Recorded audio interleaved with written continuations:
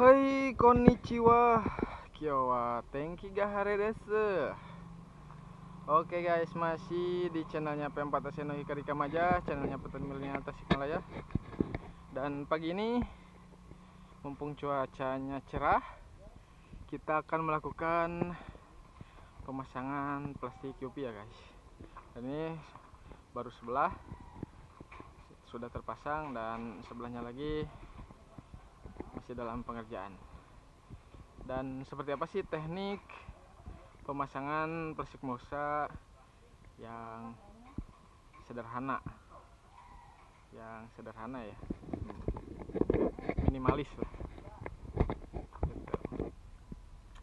Ini sudah ada nih. Ada orang untuk memanjat. Dan lumayan memerlukan waktu juga ya. Jika nggak kekarun deh ya dalam pemasangan UV ini ya. Dan harus hati-hati juga. Aman bro? Ini di syuting ini biar viral. Ini sudah terlatih ya udah profesional profesional no hito. Jadi eh, pemain profesional semua ini yang manjat dan kayaknya kita harus manjat juga nih supaya terlihat seperti apa sih teknik pemasangannya harus naik juga kayaknya saya maaf kamera agak sana sini ah.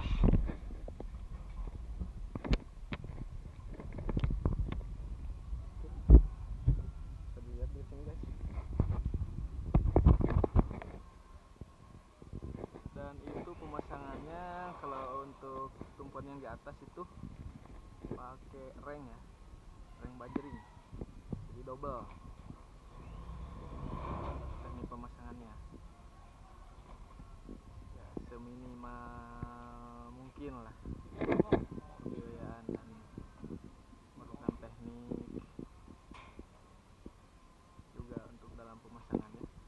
Dan nantinya selain itu nanti di ujung sini di ujung eh, baja ini dipasang spring clip ya. Jadi kita nggak ujung sama ujung pakai spring clip akan tapi sebelahnya itu pakai nih kayak gini nih. Reng kayak di depan saya nih. Reng eh, bajering ya. Waduh.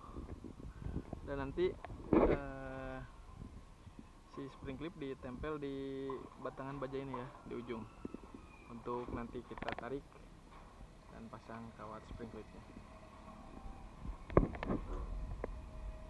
Kios tenda ya Oke, jadi kita udah nggak khawatir lagi. Yang berdua itu sudah profesional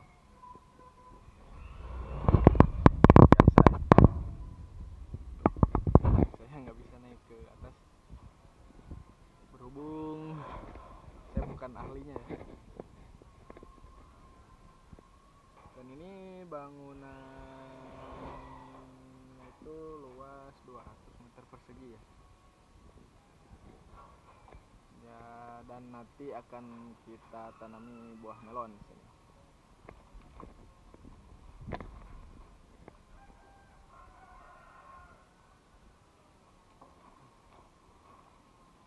Harus rapi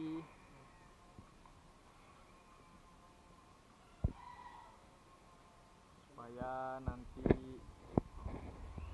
eh, awet ya dan untuk plastik UV ini sendiri nanti bisa di jadinya itu per tujuh tahun sekali ya Nusaina di pusat ya Oke. Mudah-mudahan cuacanya mendukung untuk penarikan plastik nanti. Oke.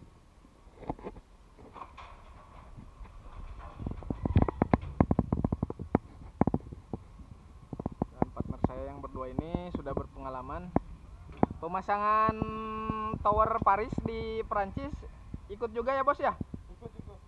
Eh, jadi jadi pengalamannya sudah luar biasa tuh. Ikut menara Apple menara Apple ikut berpartisipasi juga.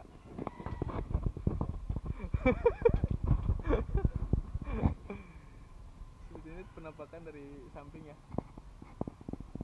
belum di belum terpasang Insya Allah hari ini selain pemasangan plastik juga nanti akan pemasangan insect net ya untuk dinding. Dinding sini ya. Untuk dinding sini dikasih insect net. Ah contoh yang desa. Lumayan. Sulit. Gimana bos? Ngambil rank lagi? Belum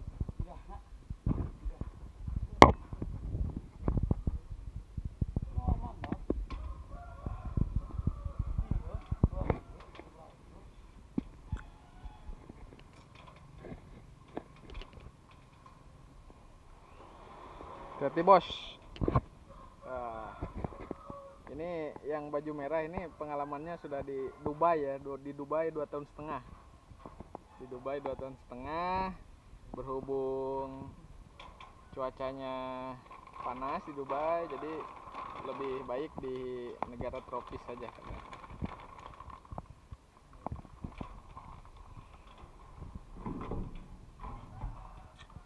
Okay ini hanya perlu dua orang saja ya. Pemasangan plastik. Gak usah banyak orang. Karena lo kalau misalkan loba jelema loba dahar.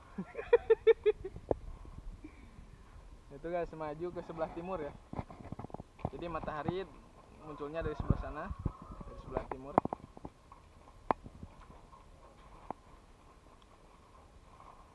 Dan mudah-mudahan doanya bagi P4 SNK Kiri Kamaja mudah-mudahan lancar ya, ya. Sampai nanti budidaya. Dan ini rangka banyak guys dari penampakan dari dalam ya. Jadi bagi siapa saja yang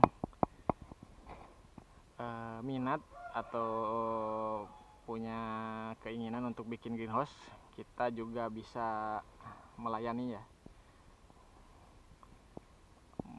luasnya berapapun akan kita bikinkan.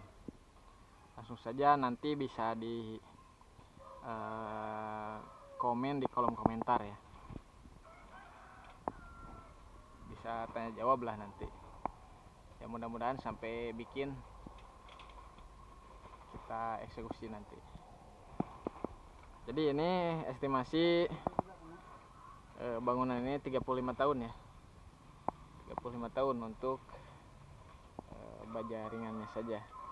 Dan plastik UP nya itu 7 tahun sekali akan kita ganti. Itu pun tergantung perawatan. Oke.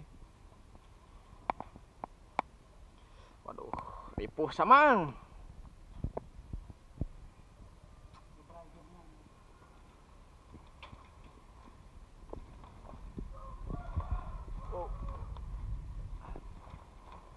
kemarin sebelum terjun ke dunia bajaringan yang pakai topi itu sempat jadi vokalis Jamrud ya. Bos, halo bos.